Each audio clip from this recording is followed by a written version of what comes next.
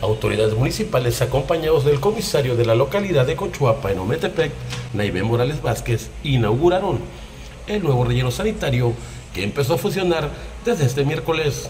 El relleno sanitario cuenta con una extensión de 6 hectáreas y tendrá capacidad para recibir toneladas de basura diariamente durante los próximos 12 años. El encargado de la obra, Efraín Solano, explicó que este espacio cuenta con todas las especificaciones de la norma oficial para rellenos sanitarios y que en dos años, cuando llegue a su capacidad máxima, la primera celda la cubrirán con vegetación y lo que se requiere siguiendo un protocolo.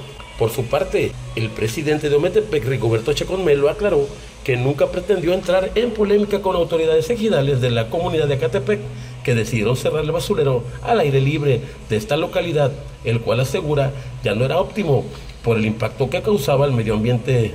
Va a tardar por muchos años porque yo le instruí a los ingenieros de obra que no pensaran tan solo en esta administración, sino que pensaran en los demás también, porque a mí me tocó recibir este municipio con muchos problemas, pero uno de ellos, el cual me preocupó más, fue el tema de la basura.